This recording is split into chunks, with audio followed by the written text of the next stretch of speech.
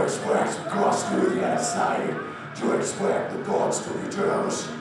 I believe the world full of evil, to expect the other side.